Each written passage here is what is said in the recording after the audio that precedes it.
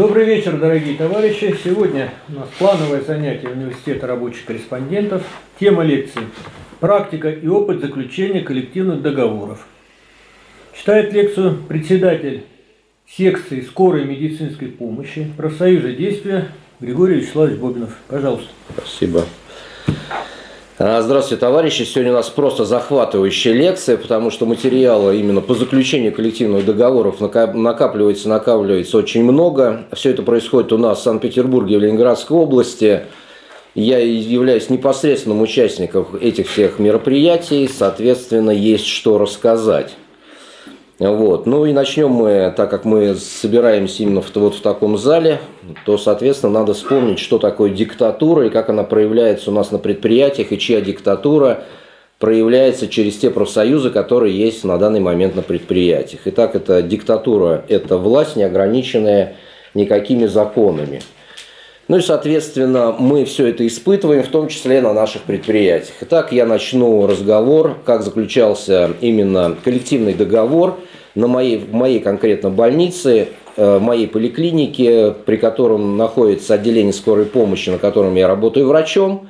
Это городская поликлиника номер 52. Дело было два года назад – и заключалось это следующим образом. Итак, от коллектив скорой помощи непосредственно при моем участии написал прогрессивный коллективный договор. Он был настолько прогрессивный, что э, когда мы с этим договором дошли до профсоюза, который, ну, который именно является ФНПРовский, соответственно, его в принципе рассматривать не стали.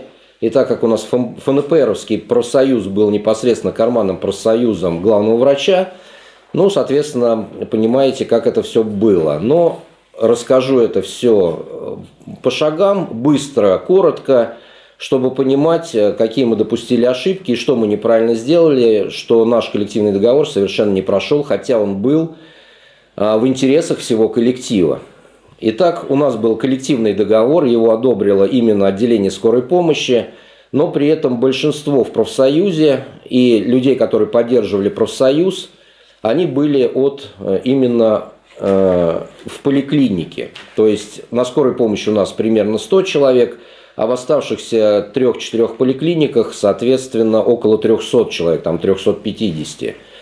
Ну и тот карманный профсоюз, который был на тот момент, который возглавляла Вера Александровна Горецкая, они провели выборы, так как у них не хватало 50% плюс один голос для того, чтобы просто выдвинуть от себя этот коллективный договор, решили сделать просто конференцию и э, в определенном порядке избирались делегаты от каждого подразделения, то есть от какого-то количества избиралось такое-то количество делегатов. Эти делегаты должны были прийти в определенный день и подписать с точки зрения того профсоюза, подписать коллективный договор.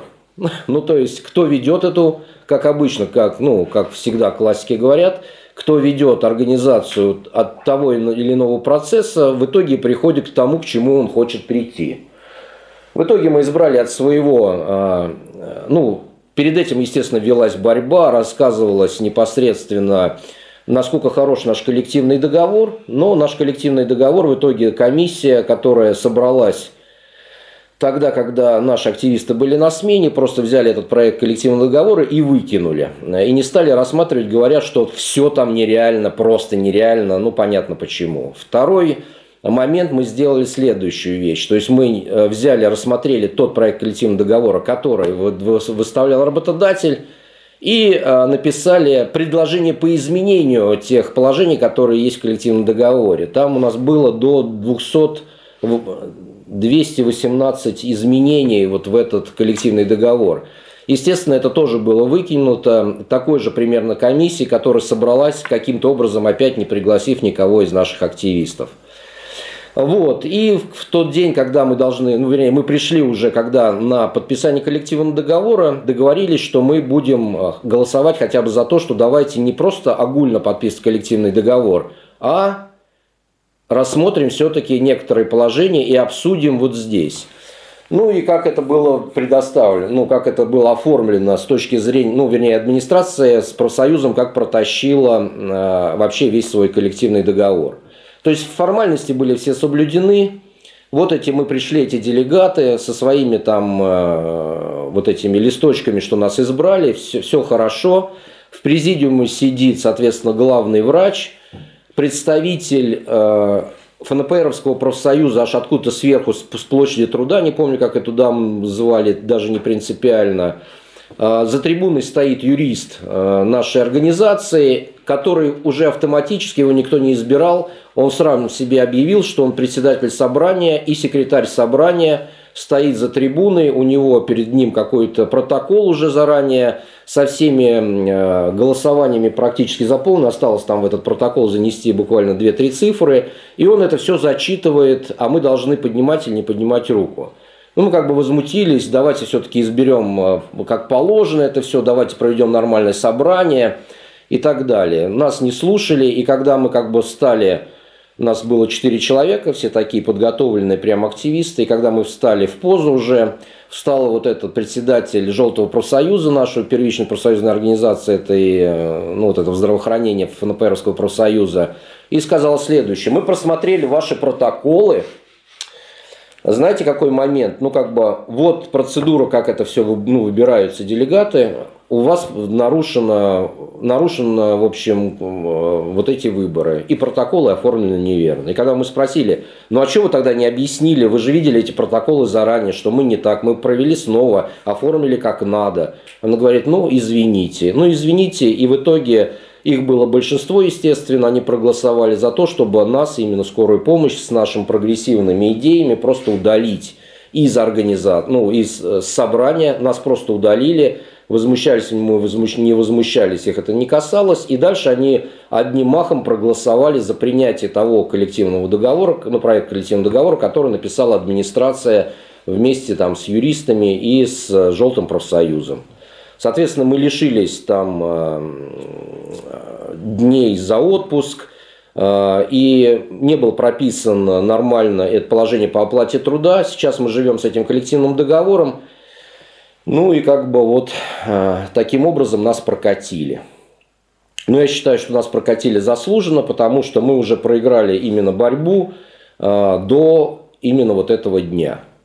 Значит, какие дальше были последствия, чтобы понимать, как дальше это все развивалось. В дальнейшем главного врача сняли за различные какие-то там мероприятия, за которые снимают главных врачей, то есть она там переборщила с финансовыми потоками, куда-то там распределяла их неправильно. Ну, в этом мы тоже поучаствовали, естественно, потому что мы писали где, что и зачем.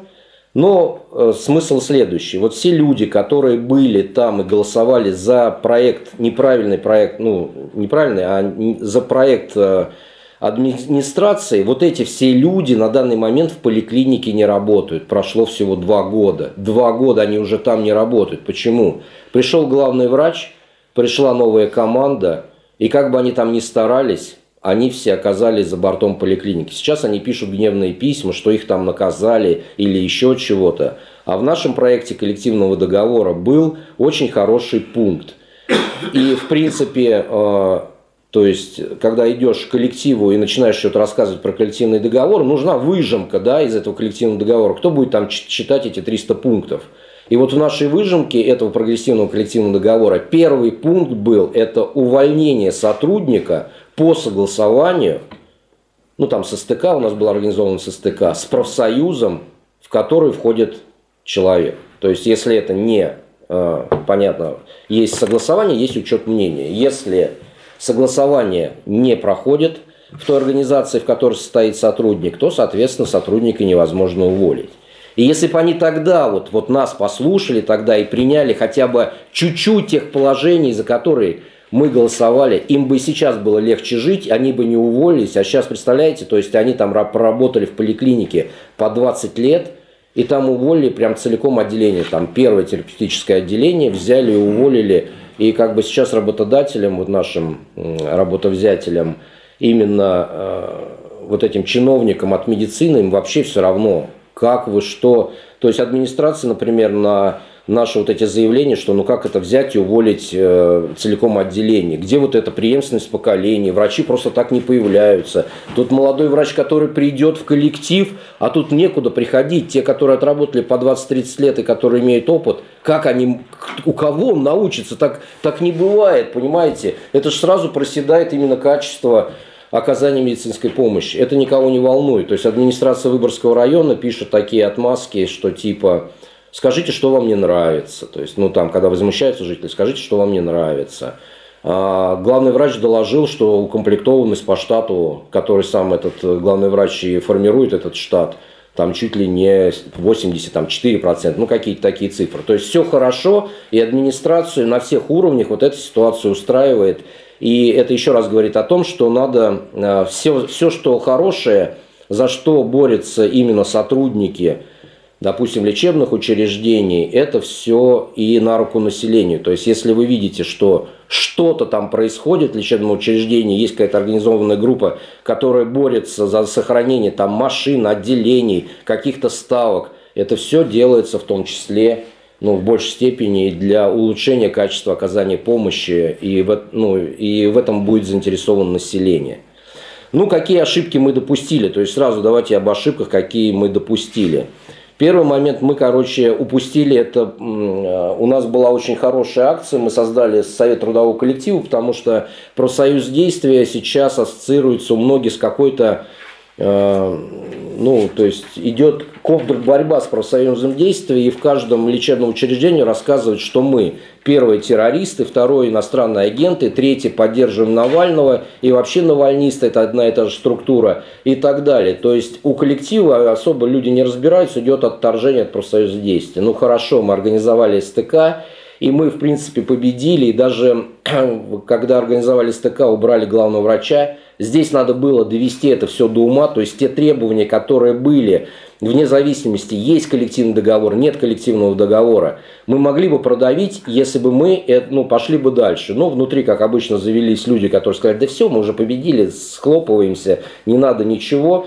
Но в итоге мы не закрепили это все на бумаге, а могли бы закрепить в виде, допустим, даже вот если заключен коллективный договор, когда можно его перезаключать? Ну, перезаключать через 5 лет, то есть через 3 года. Но вносить изменения мы можем сразу на следующий день после подписания коллективного договора. Мы можем вносить изменения. Мы бы изменили вот эти вот изменения, внесли, и сейчас бы нормально себя чувствовали на, ну, на работе. Потому что если тебя нельзя уволить, потому что против СТК, ну и все, уже легче, можно другие требования ну, как бы выдвигать.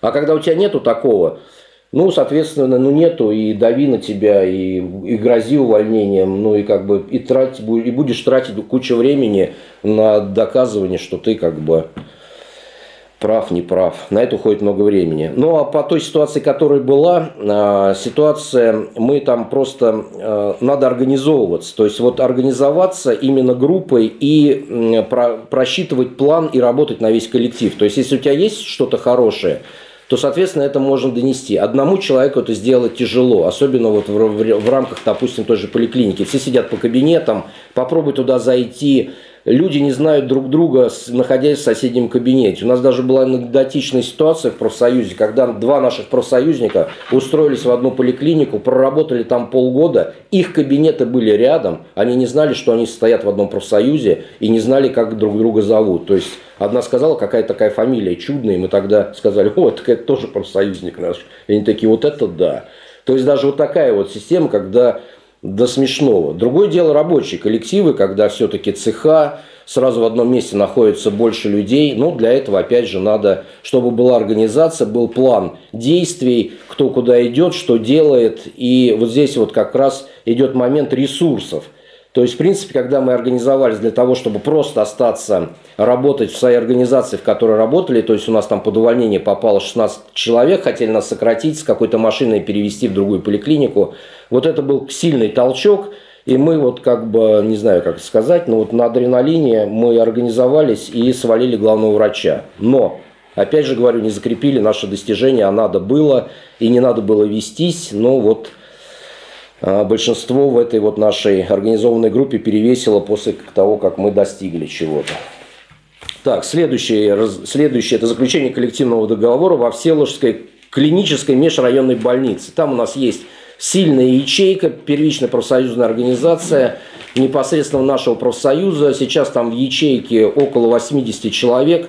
Больше, большинство из них открыто. Почему открыто? Потому что многие уже схлестнулись именно на фоне различных увольнений с предыдущим главным врачом и уже с этим главным врачом.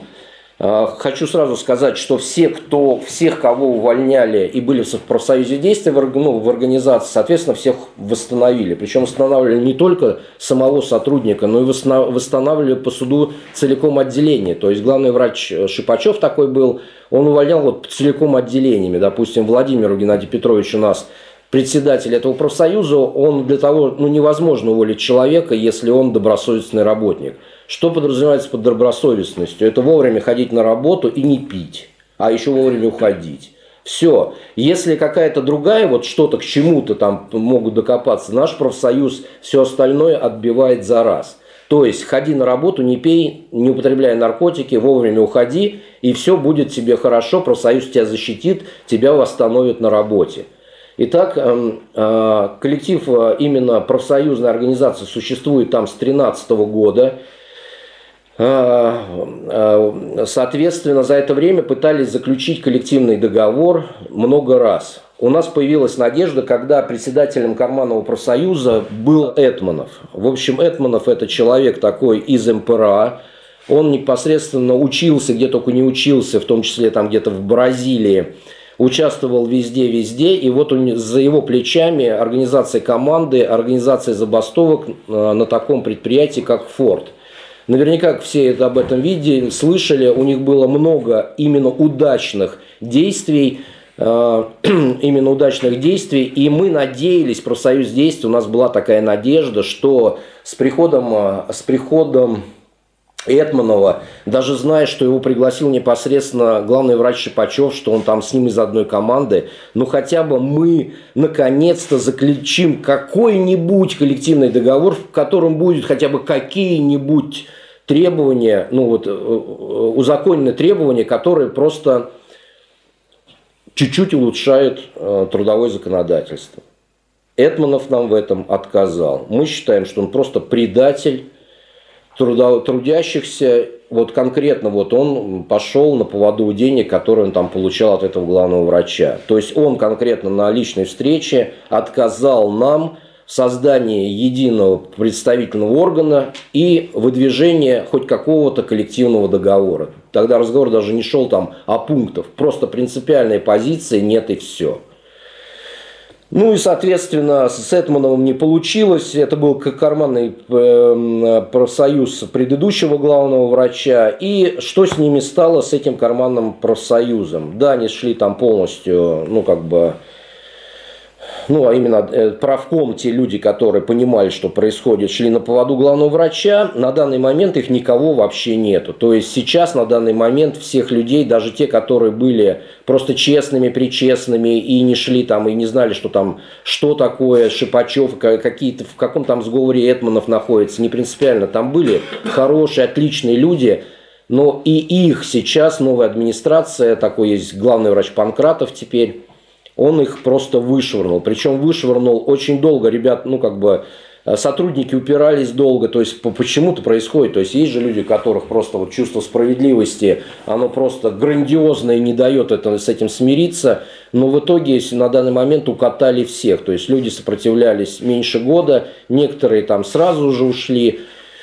пару человек держалось где-то в районе трех месяцев, сейчас, сейчас ушли все, а, ну их додавили, то есть вот, понимаете, то есть не заключили коллективного договора для именно э, в интересах сотрудников, сами попали в эту ситуацию, когда они стали обычными сотрудниками, их вышвырнули сначала из профсоюза и сейчас вышвырнули из, э, ну, из, по большому счету выдавили из больницы.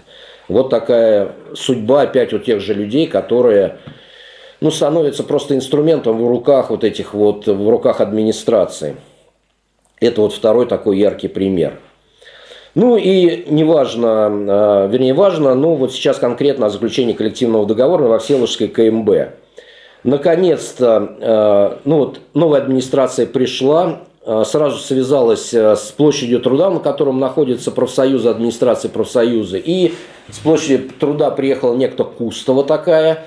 Она, короче, по оргметод работе с профсоюзами, с первичными профсоюзными организациями и помогла разбить ту первичную организацию, которая была, и избрать новую, которая стала э, ну, карманным профсоюзом, профсоюзом шариковых ручек, которые достают и подписывают нового главного врача.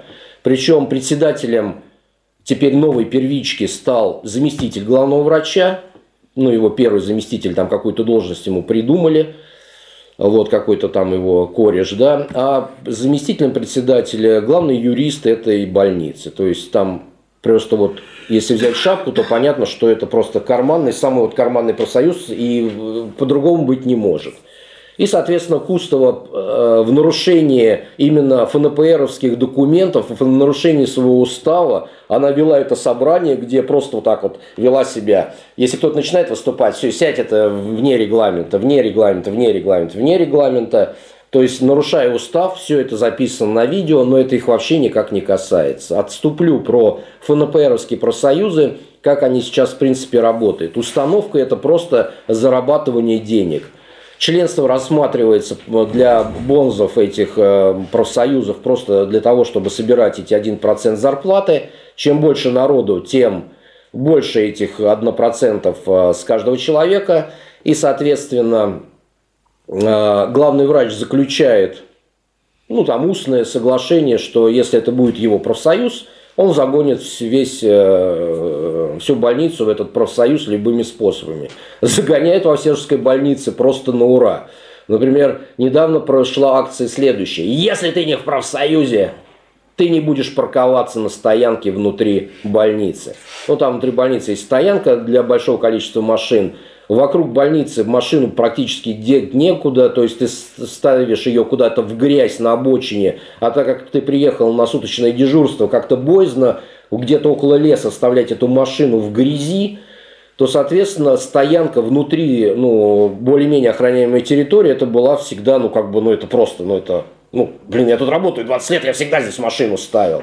Нет, это ничего. Значит, новые пропуска, не член профсоюза, машину не можешь поставить. Как только ты вступаешь, из тебя берут 1%, то есть примерно от 6 тысяч в год, то, соответственно, вот это вот э, билет на стоянку. Ну и так далее, вот этих вот. Если ты не в профсоюзе, у тебя будут проблемы э, с аккредитацией, с аттестацией, с а, защитой категории. Ну, ты понимаешь, как же это делается. Мы тебе не подпишем, либо ты долго будешь подписывать, либо еще что-то. И вот таким образом загоняет в этот профсоюз. То есть а, главный врач отчитался на корпоративе на своем, ну, на больничном, где был Бамон, что у него сейчас два главных достижения. Вот один из них, а, два достижения, это профсоюз и заключение коллективного договора. То есть лечебная часть вообще все равно. Ясно, что профсоюз и заключение коллективного договора, это важно для администрации. И здесь вот разговор идет опять же о диктатуре. Да, вот мы видим профсоюз, вот эта форма и вот в сущности это диктатура главного врача, которую он проталкивает, в том числе и профсоюз. То есть она там в принципе не ограничена никакими, э, никакими законами. Итак, как заключался этот коллективный договор? Совершенно, ну как бы мы как все, ну как э, профсоюз действия, им пришлось с нами формировать единый представительный орган. То есть по закону, да, по Трудовому кодексу Российской Федерации, если есть еще какие-то профсоюзы, то, соответственно, они должны хотя бы, ну, в зависимости от численности, пропорционально. Но даже если он совсем маленький, одного человека в ЕПОР надо ну, давать. На территории Всеволожской больницы существует три профсоюза. Первый – ФНПРовский профсоюз, второй профсоюз – это МПРА, и третий профсоюз – это э, профсоюз действия, это мой профсоюз. МПРА они вообще не признают, они говорят, нам это вообще не нужен профсоюз, просто идите, сколько у вас документов нужных, сколько не нужно, все. Мы сейчас быстренько ваших членов выдавим из коллектива и даже не будем с вами возиться. Ну, профсоюз действий, да, вас много, все-таки с вами придется повозиться, давайте сделаем ЕПОР. Итак, э, был выпущен приказ, составлен ЕПОР, и вот в течение двух месяцев один человек это... Э, один человек это у нас получается Владимиров Геннадий Петрович ходил в этот ЕПОР, там он состоял из следующего. Там было 22 человека, вот он один против 21. Иногда как бы некоторые так, ну, как бы, ну, на его сторону переходили, но это было буквально 2-3 человека, но на его сторону переходить это вот в основном воздержался при голосовании. Остальные все, что администрация пилила, то и пилила. А, было очень много смешного. Ну, допустим, если мы все знаем по трудовому законодательству, сам по себе коллективный договор – это такая бумага, которая подразумевает улучшение да, в, э, по сравнению с трудовым законодательством. Но не тут-то было. А, коллективный договор во Всеволожской больнице после прочтения нами мы поняли, что Основная задача – это в этом коллективном договоре хотя бы соблюсти трудовое законодательство, не говоря уже что-то там свыше. Просто прочитав его, мы поняли ужас. Там просто кровавые слезы текли при прочтении первых трех страниц. А, Геннадий Петрович вставал, то есть э, длилось два месяца, то есть он два месяца в этом участвовал. Было вот такое, допустим, у нас есть такое а, соглашение Э, такой приказ по именно начислению заработной платы 282 по, Ленинградскому, по Ленинградской области от 1 августа 2020 года. Вот я выписал, да. Там положено 12% прибавки к окладу э, тем людям, которые работают с онкологическими пациентами, 16% для медработников, которые работают с ожоговыми, в ожоговых палатах и тому подобное. И вот это с 2020 года – в организации просто не учитывалось и не выплачивалось. Он говорит, ну давайте хотя бы законодательство соблюдать. Опять же, если это коллективный договор, сразу автоматически действует предложение. Но если сама область признает, что эти работники работают просто в ненормальных условиях, давайте тогда им не 12, допустим, процентов, а 20 процентов. Нет. Ну давайте хотя бы 1% добавим. Нет. То есть там вот чуть-чуть отклонение от того, что есть – Сразу главный врач ставит на дыбы, понятно, что это все поддерживается, ничего. Но даже вот именно э, законодательство не выполняется. Дальше, допустим, а, было такое, а, допустим, дежурство на дому. Да, это для медиков очень важный момент. То есть медик дежурит на дому, ему надо откуда платить. Есть трудовое законодательство, которое говорит одно – у нас, ну не у нас, а вот в этой во Всеволожской больнице, соответственно, а, в этом коллективном договоре прописано, что оплата идет из стимулирующих. Но подождите, какие стимулирующие? Трудовой кодекс прописывает, что если человек дежурит на дому, и с ним должно быть прописано отдельное соглашение, ему платят по времени, проведенному в этом домашнем ну, на дежурстве на дому, с учетом ночных, с учетом Э, по вредности, стимулирующих, компенсационных. Все это написано в Трудовом кодексе Российской Федерации. И просто Геннадий Петрович вставал и говорил, товарищи, давайте хотя бы закон соблю... ну, соблюдем и вот это все сделаем. Комичный вообще, это просто супер была комичная ситуация, когда мы с Геннадием Петровичем посмотрели, ну как бы, ну заранее мы это готовились, посмотрели, есть такое э, этот, э, отраслевое соглашение, региональное отраслевое соглашение. Кто не знает, что есть региональное отраслевое соглашение, то оно такое есть. И там куча всякого вкусного. И если взять вот этот коллективный договор Всеволожской больницы и положить с отраслевым соглашением, то можно вот так вот выкидывать это Всеволожское, а просто заключать отраслевое соглашение. Причем в законе написано, что если в коллективном договоре не учитывается отраслевое соглашение, то, соответственно, пункт этого коллективного договора считается недействительно, отправляется на доработку. И был такой момент. Ну, и там очень много не соответствует, но вот одно из основных вот было очень смешно. Значит, он встал и говорит, это уже на втором месяце, говорит, вы знаете, что вот в этом отраслевом соглашении написано то, что при начислении отпусков, то есть вы, сколько положено за вредные условия труда людям – вы должны сослаться на инструкцию и э, не инструкция, там, там инструкция прилагается, а, сейчас скажу, список производств, да, список производств с отпусками, кому сколько положено, аж 74 года. То есть это осталось после гильотины. Ну, помните, да, это гильотина, когда этот Медведев на телекамере вынес такую пачку документов и говорит, это все документы Советского Союза, нафиг они нам нужны, мы их всех отсекаем. Короче, вот этот список остался после вот этой гильотины.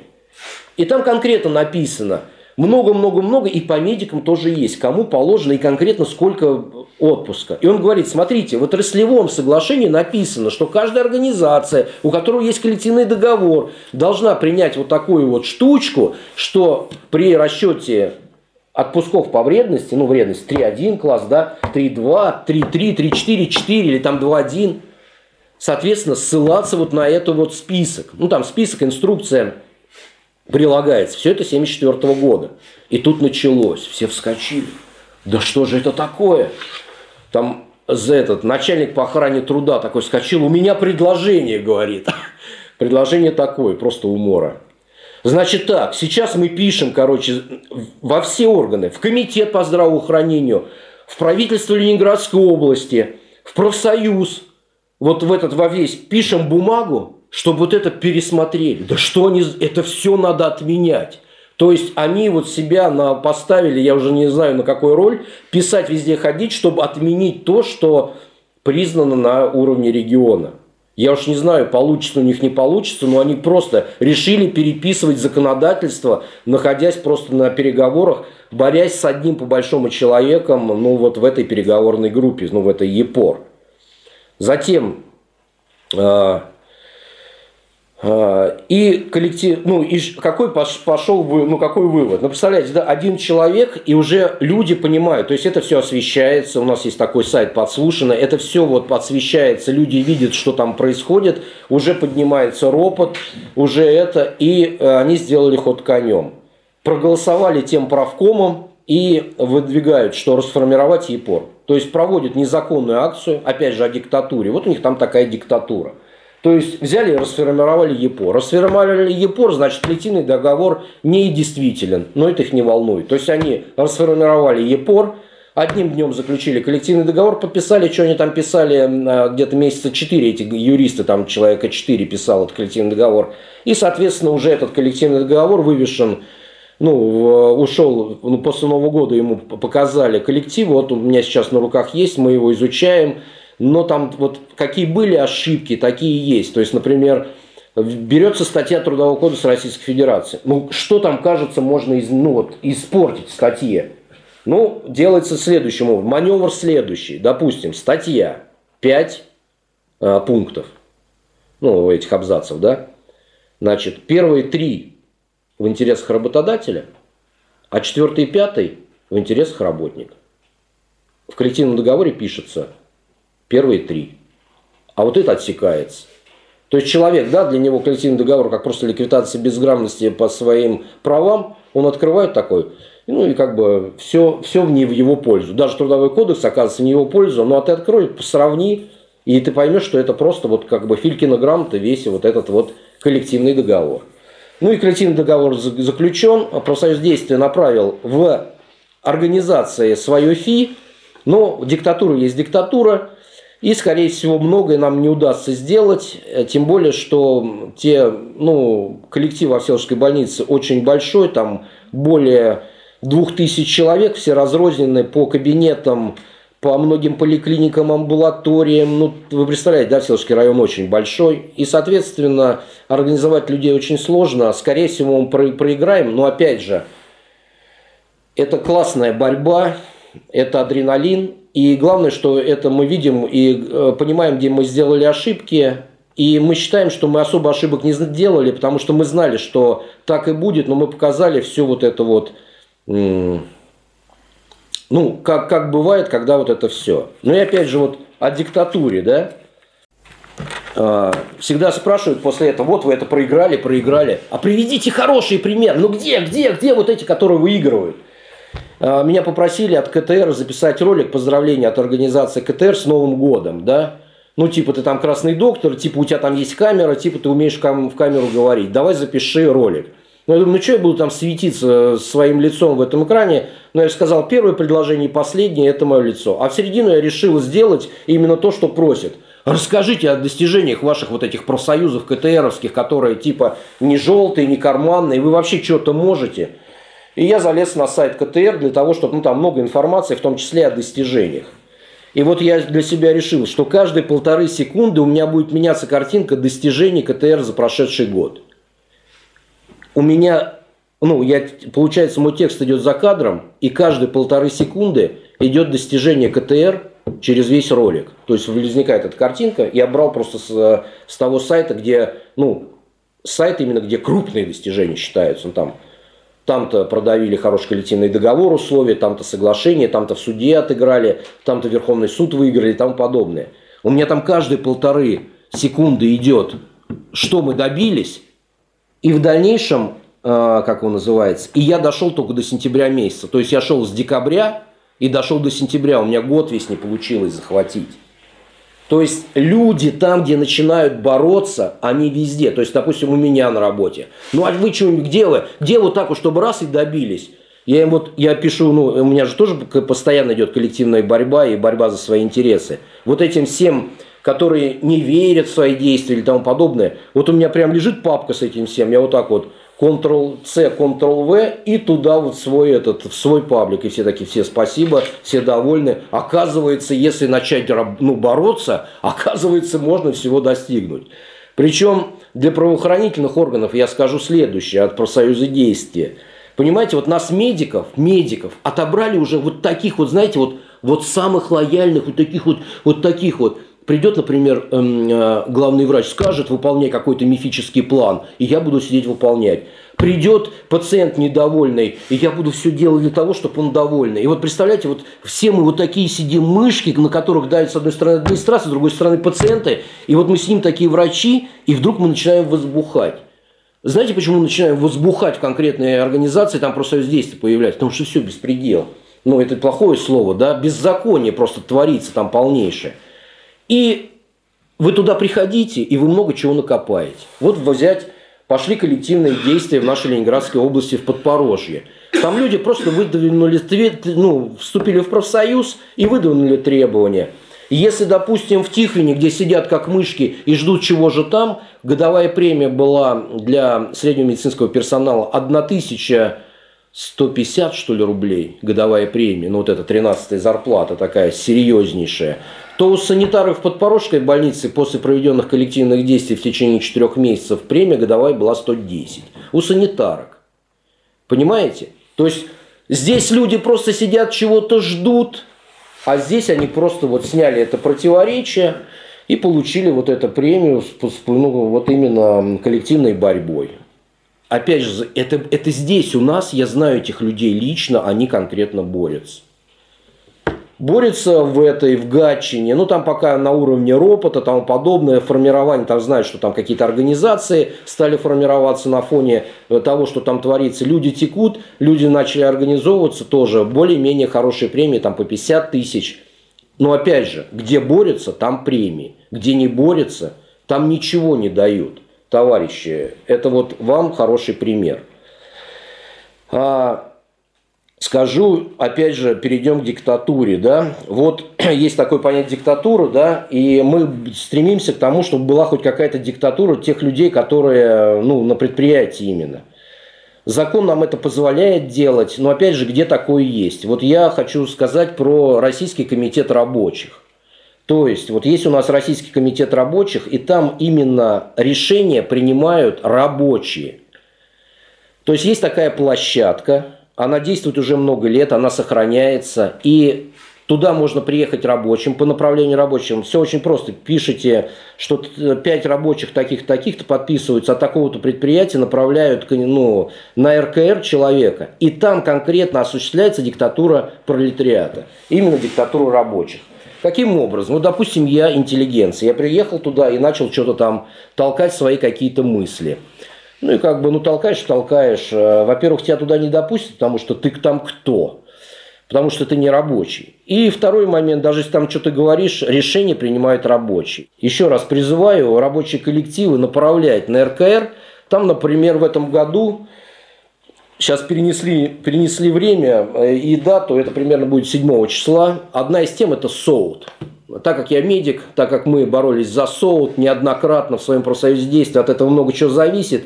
Вот одна из тем будет именно СОУТ на предприятии. Вот я вижу, руки прочь от медика, вот лицо Баранова, видите, на стенде. Смотрите, вот он один.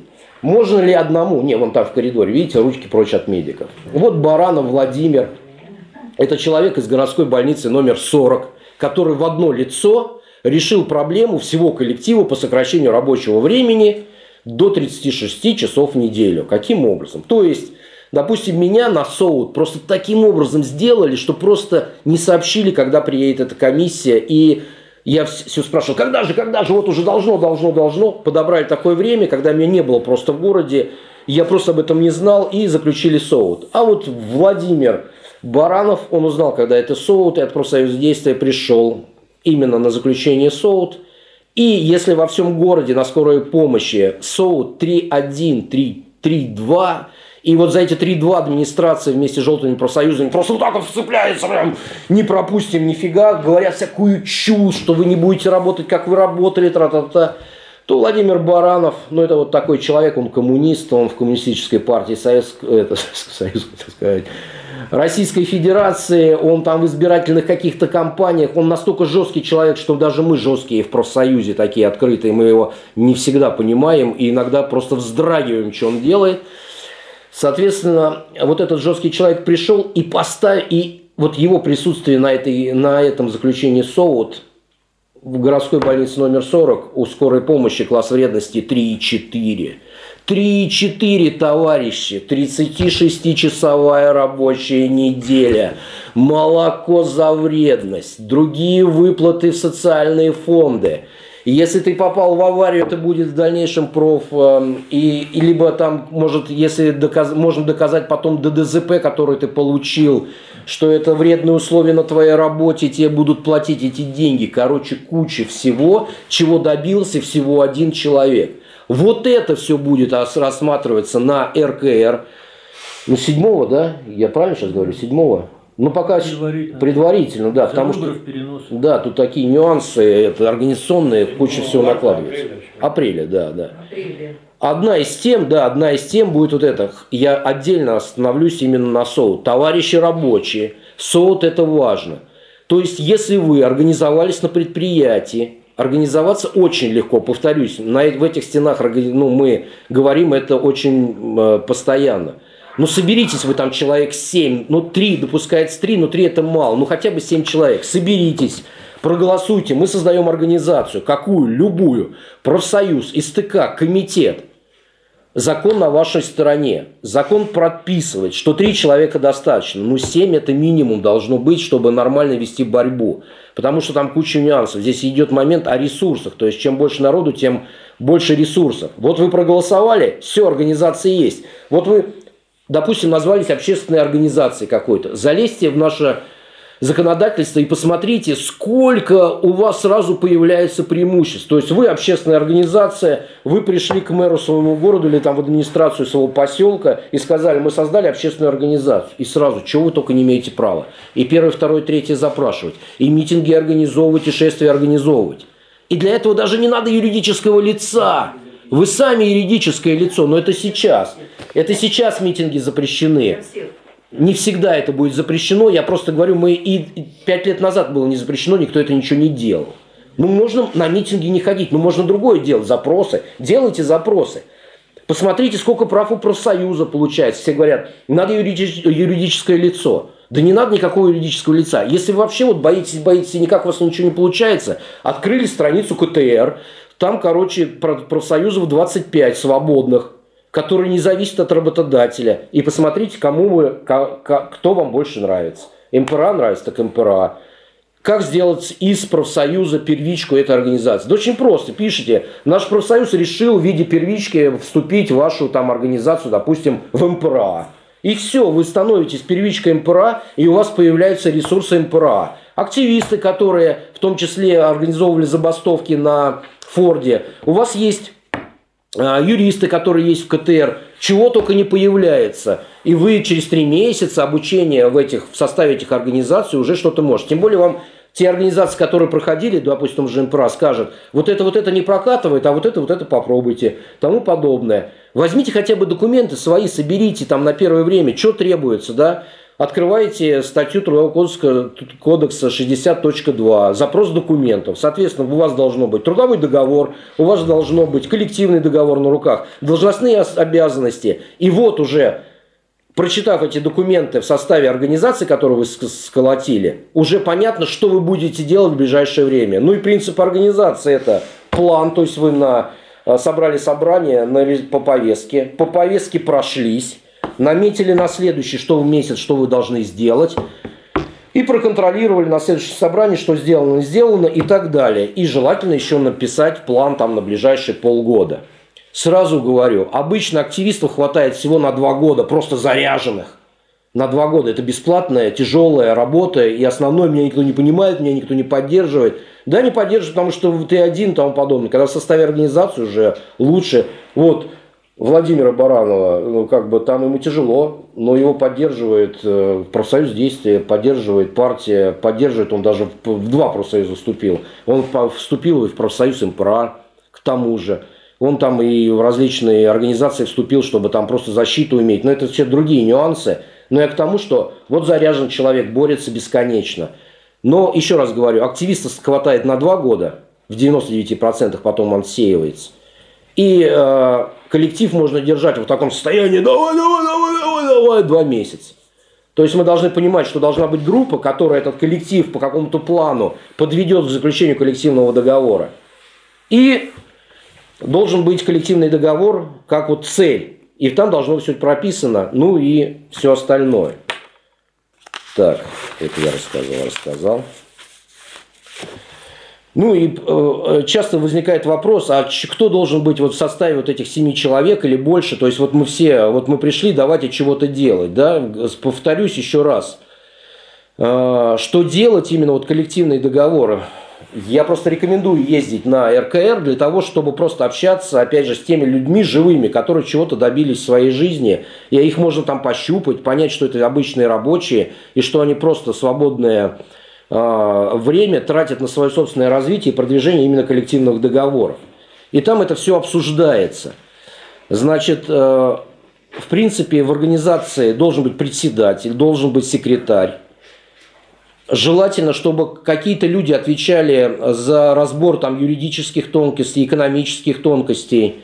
Затем должна быть группа по охране труда, должны быть инспекторы по безопасности – Информационная группа – это очень важно. То есть даже не раскрывая свой актив, можно влиять на коллектив, имея человека в организации и, ну, и бомбя вот именно статьями. То есть, допустим, ты можешь поговорить с человеком о всех пунктах коллективного договора, но это уходит много времени, и очень мало охватываешь людей на это очень. А можно это все делать. Заводишь группу, допустим, ВКонтакте, приглашаешь туда своих сотрудников – и вот рассказываешь их там, допустим, раз-два или в три дня выходит статья о том, что вот есть такое предложение, товарищи, это в нашем коллективном договоре, активная группа предлагает вот это. Почему? Потому что вот это, мы съездили на РКР, это все продвигается по всей стране, товарищи, ну мы что, совсем дураки читать не умеем, давайте хотя бы вот это, это все хорошо. Тем более, чем мне нравится РКР, это потому что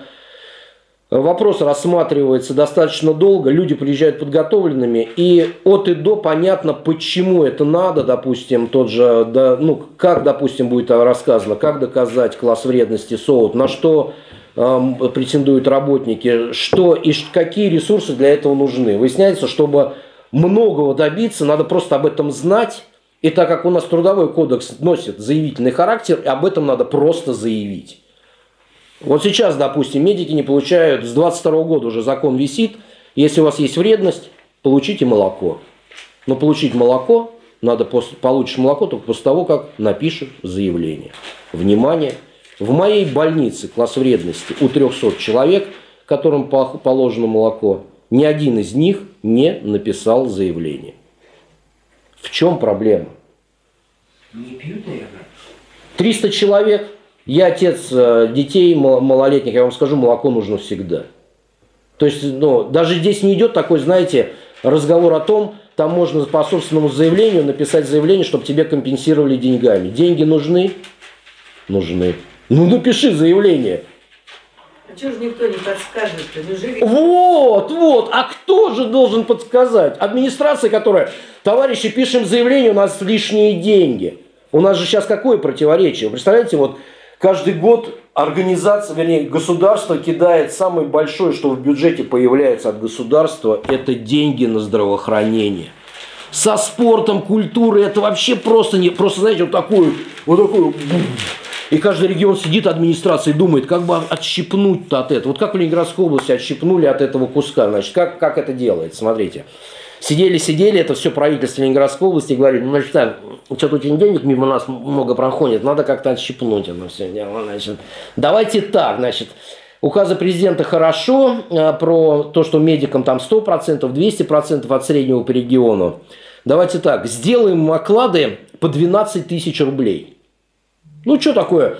Положено заплатить доктору, допустим, э, по их нормам там 120 тысяч в месяц, реаниматологу, врачу за ставку, а ты ему нарезаешь оклад 20 тысяч. А остальное откуда брать?